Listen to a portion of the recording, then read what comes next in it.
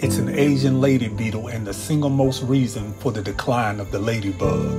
This Asian lady beetle can disguise itself as a harmless ladybug. It carries a parasite called a microsporidia, and this parasite is used as a biological weapon against the ladybug. Each will eat the eggs and the larvae of the other, but when the ladybug eats the egg and larvae of the Asian lady beetle, the parasite becomes active and ends the life cycle of the ladybug within two weeks.